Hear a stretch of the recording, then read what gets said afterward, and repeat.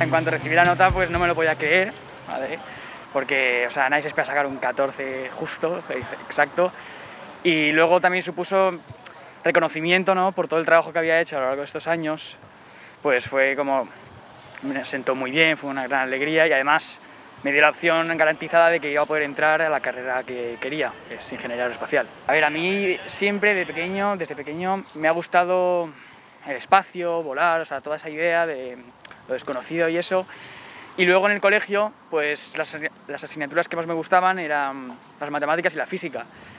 Entonces prácticamente la carrera estaba hecha como para mí, o sea, que es justo por eso al final me metí en esta carrera, porque estaba encajada perfectamente con mi perfil. Eh, yo tenía muchas ganas de empezar la universidad, de conocer a nuevas personas, hacer nuevas amistades, salir por ahí, etc. Y ahora con esto pues apenas estoy con mis compañeros, ¿vale? O sea, entre que una semana estoy en casa o apenas les veo, entonces es todo un poco, pues no es, no es lo que me esperaba. Pero bueno, y además con todo esto de las clases online es todo mucho más complicado, vamos más lentos, cuesta más entenderse con los profesores, es todo muy complicado.